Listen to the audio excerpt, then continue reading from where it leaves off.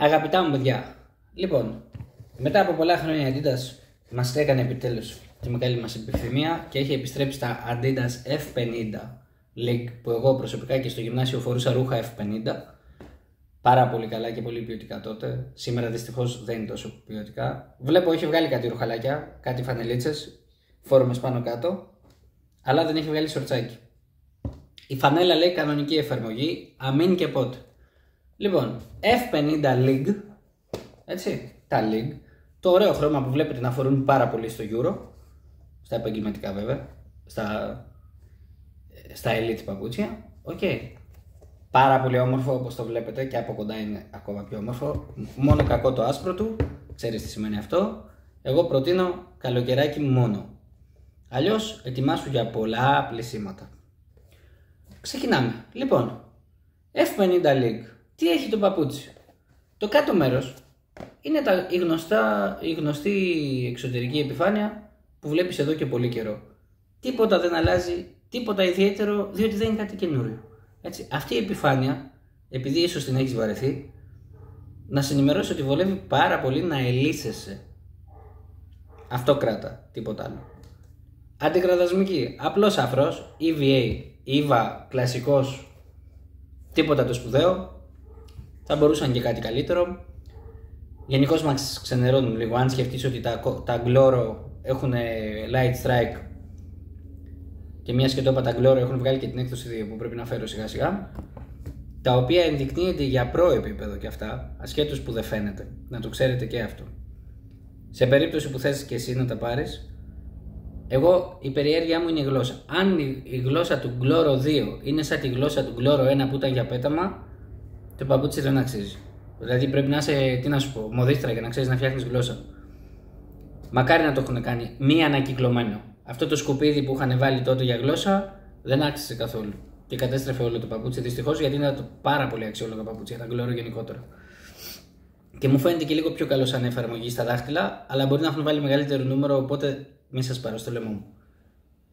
Επιστρέφω. F50. Πανέμορφο από παντού. Άνω μέρος λέγεται fiber skin. Το γράφει βασικά, τι βασανίζομαι. Να το. Εδώ, αν ξεθόλουν. Τέλος πάντων, fiber skin. Έτσι. Γενικώ εγώ δεν ψαρώνω τόσο με αυτά, με τις τεχνολογίες, γιατί η αίσθηση μιλάει από μόνη της πάντα. Και αυτό το sprint grind ή sprint grid, πώς λέγεται, έτσι. Ενώ εδώ νομίζεις ότι είναι ας πούμε μια τεχνολογία, πρακτικά στο site σου λέει ότι με τύπομα αυτό, αυτή τη λέξη. Δηλαδή, όλο το, το γραφιστικό κομμάτι. Εντάξει ρε παιδιά, αυτό δεν είναι τεχνολογία όμως, δηλαδή μπερδεύουν τα μυαλά για να αγοράσεις. Να ξέρεις, η real τεχνολογία είναι η fiber skin. Τώρα, το πατάς, στην ουσία είναι μια πλαστικούρα, μου θυμίζει λίγο μια καλή πλαστικούρα, μια, μια μαλακή πλαστικούρα, μου θυμίζοντάς μου πάρα πολύ τα, τα Ultra Ultimate σε αρκετό βαθμό. Βέβαια τα Ultra Ultimate δεν θυμάμαι ποια ήταν. Νομίζω τα 3-1 ήταν. Α, όχι, δεν υπάρχει 3-1. Ultimate λέγεται. Ultimate 1, λογικά. Όχι ρε παιδιά, λάθος λέω. Είναι match. Ε, ναι, ναι. Ultimate. Τα Ultra Ultimate, αν μπορείς να τα βρεις, πάρτα. Δυστυχώς στην Ελλάδα δεν τα βρίσκουμε εύκολα. Μόνο από ξένα site έρχονται αυτά ή από το 11 ε, Team Sport, κάπως έτσι, που και αυτό τα φέρνει απ' έξω και σε ταλαιπωρεί με έξοδα και ιστορίες. Τέλος πάντων, το Fiber Skin λοιπόν, ούτε τρελάθηκα, ούτε απογοητεύτηκα. Πολύ καλύτερο από το, από, από το, πες το, Crazy Fast, έτυχο τόσο καλύτερο και πολύ καλύτερο θα έλεγα και, και από Speed Flow και Speed Portal θα σου πω που μου άρεσε πάρα πολύ το Speed Portal. Απλώς ξέρετε τι, τι με φοβίζει πάντα στα League.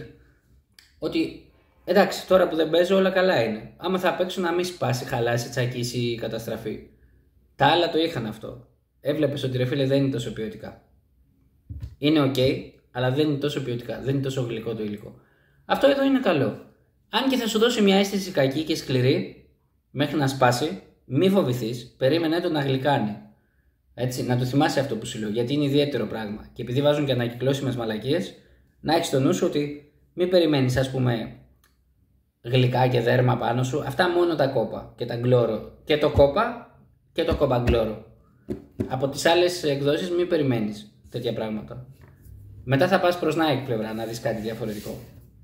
Η Adidas γενικώ είναι πάρα πολύ κακή πιστεύω εδώ και καιρό. Ε...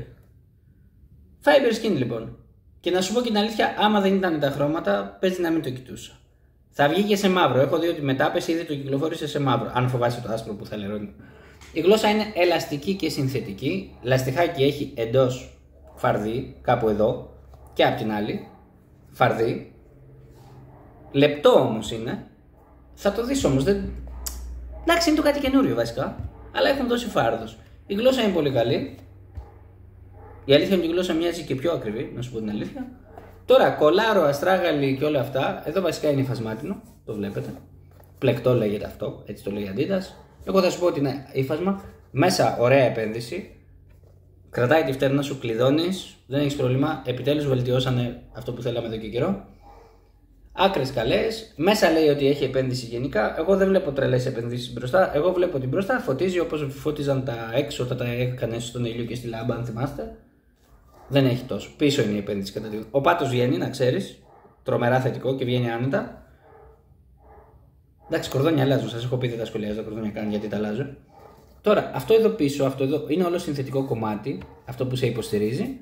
Και παρότι σου φαίνεται αδύναμο και ας πούμε για την ομορφιά, τελικά κάνει πάρα πολύ δουλειά και είναι και πάρα πολύ καλό και πολύ ωραίο στο μάτι. Θα το διαπιστώσεις από κοντά. Το περνάνε όλοι στα κουτούρου, αλλά είναι πολύ καλό. Γιατί η κραδασμική είναι μια απλή ε, EVA, ένα απλό EVA, τίποτα το ιδιαίτερο.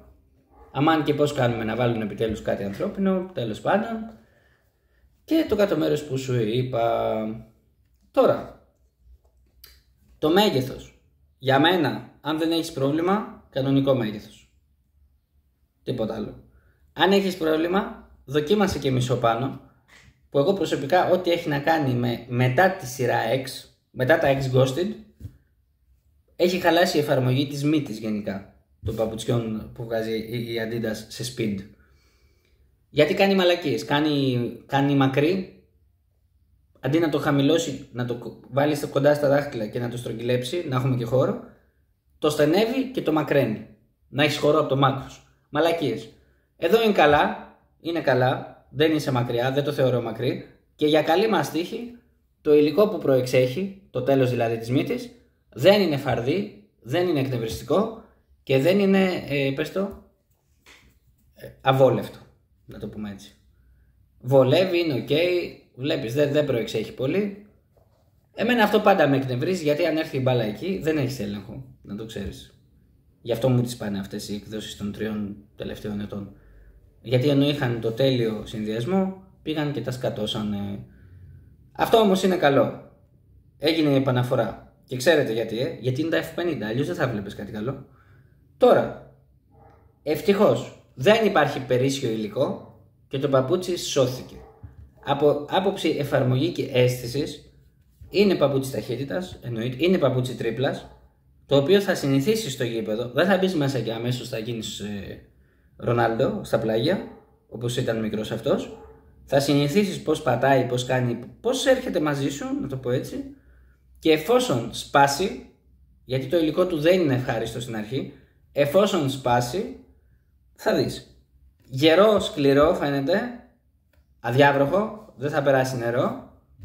Αλλά ρε φίλε είναι το League έτσι. Αν θες το Pro θα περιμένεις. Το περιμένω κι εγώ πώς και πώς. Έχει κυκλοφορήσει αλλά σε άσχετα μαγαζιά, όχι στην Adidas. Αυτά, αυτά από εκεί και πέρα με τίποτα στην αρχική τιμή, κατ' εμένα, 60 και κάτω. Αν θες πραγματικά να κάνεις κάτι καλό για σένα. Όμως, ξαναήρθαν τα F50. Και επειδή είναι τα F50 ρε φίλε, δεν θα βγείτε χαμένοι.